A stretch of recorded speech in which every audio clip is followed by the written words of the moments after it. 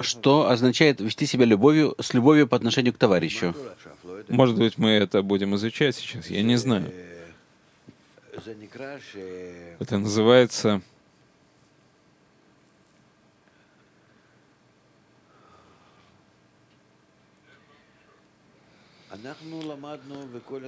Мы изучали, все время изучаем об этом, и удивительно, что мы все время забываем об этом. Что называется любить товарища? Ну, кто ответит? Ну, Виктор. Любить товарища, по сути, это любить часть Творца. Ты любишь часть, часть Творца в нем? Кто, что, что называется, любить товарища, да? наполнять его желание. Отлично. Предпочесть его желание твоему желанию.